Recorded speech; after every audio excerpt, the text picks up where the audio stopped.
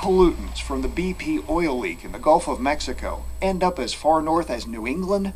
That could happen if a hurricane or tropical storm hits the Gulf region and moves northward. No one's really thought about the effect of material coming over from the ocean areas and marine areas onto land. Geochemist Sid Mitra from East Carolina University is studying how far hydrocarbons released as the oil breaks apart, and some of them toxic, can reach inland.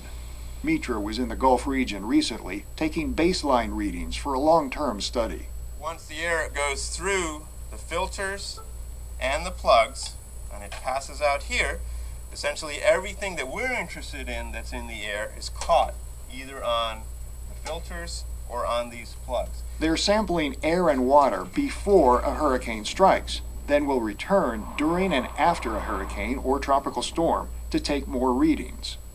What they're looking for are hydrocarbons associated with the oil.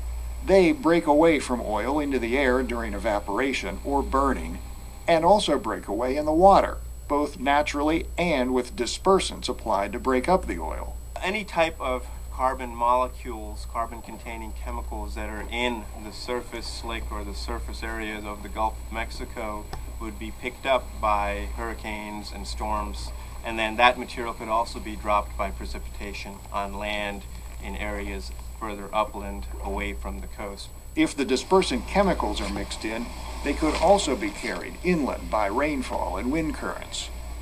If the material is toxic, there could be toxic effects. Oil and water don't mix in general, but many of the compounds that are in oil start dissolving very readily. Those are the hydrocarbons, many of which are toxic um, at low concentrations.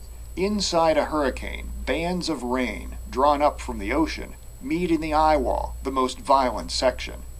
Here, winds of up to 200 miles per hour spiral upward carrying moisture and any particles in the water. A fully formed hurricane can reach up to 500 miles in diameter. And while the winds diminish when it moves inland, the rain continues to fall as it moves northward into the United States.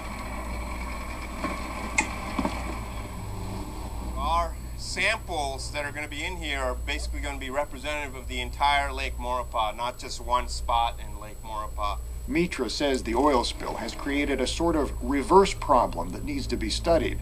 Scientists are usually studying how pollutants go from land into the sea. There have been very few studies looking at how carbon, hydrocarbons, any material from the ocean can actually make it up onto land. Most of us who study global carbon cycle, we worry about rivers draining material into the ocean. On this trip, Mitra took samples in Louisiana, Alabama, and Mississippi and northward to North Carolina.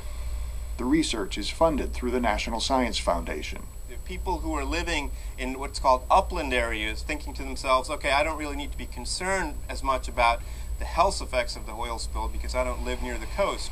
And if you actually have rain that has some of these hydrocarbons in it, it's not going to be raining oil as you think of it, but it may very well be raining hydrocarbons which are coming from that oil slick in the Gulf of Mexico.